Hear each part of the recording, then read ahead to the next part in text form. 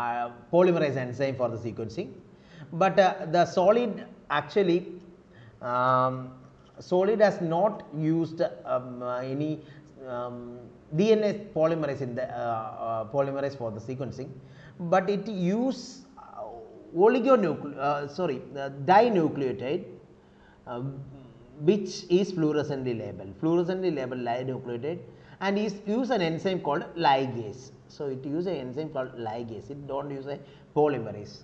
What it uh, uh, done is that it will allow dinucleotides which is fluorescently labeled to uh, sorry it is not dinucleotide it is oligonucleotide I think.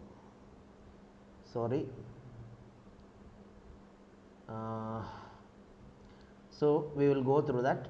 So sequencing by ligation the library preparation is same with emulsion PCR which we seen in the 454 just like 454 we do emulsion PCR and uh, uh, we will get the DNA fragments uh, which is uh, uh, which is amplified in the beads just like by uh, in the 454.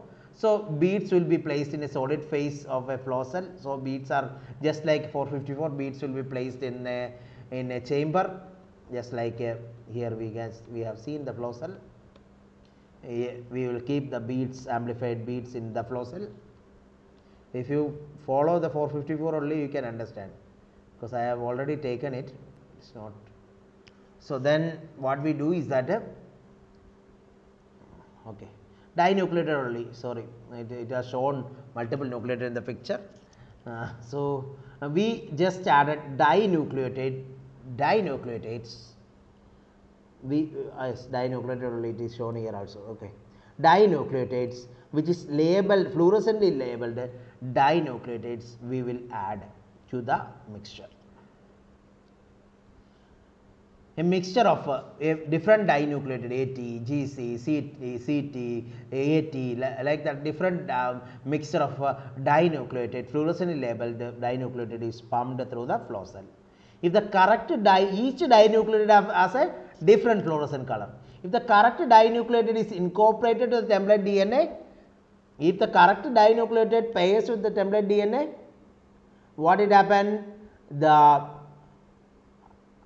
uh, what it happen is that ligase will come and ligate that uh, that dinucleated to the growing chain.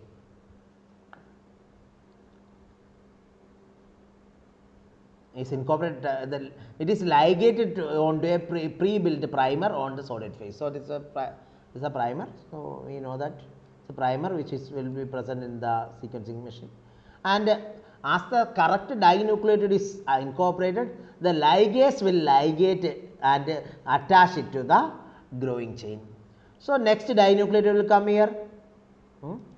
If the correct it is 80, if the correct dinucleotide come here, the ligase will come and attach this dinucleotide to the growing chain.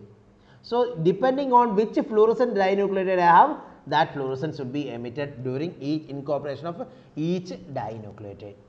That's all. This is SOLiD. Now, but this uh, methodology is not being used today.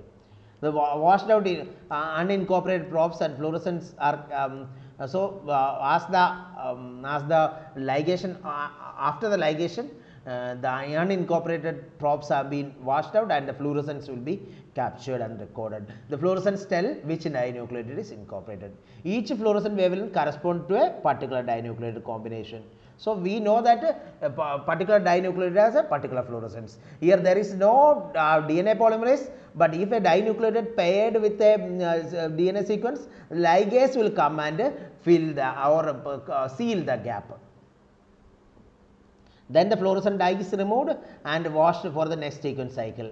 Uh, although bi- 1 billion reads in, in a single run can be achieved, limitation of the system is short sequence length of uh, 50 nucleotide or read length only can be done for, uh, uh, but accuracy is very high, but uh, the read length, we are trying with the third generation sequencing with a very high read length, but uh, here the read length is so le- less, uh, so like this dinucleotide each dinucleotide is been incorporated as one. Dinucleotide come ligase will come and seal. Second dinucleotide come ligase will come and seal. The third dinucleotide come ligase will come and seal. Like that like that like that each uh, cycles uh, each dinucleotide is incorporated but the read length here in SOLiD is very less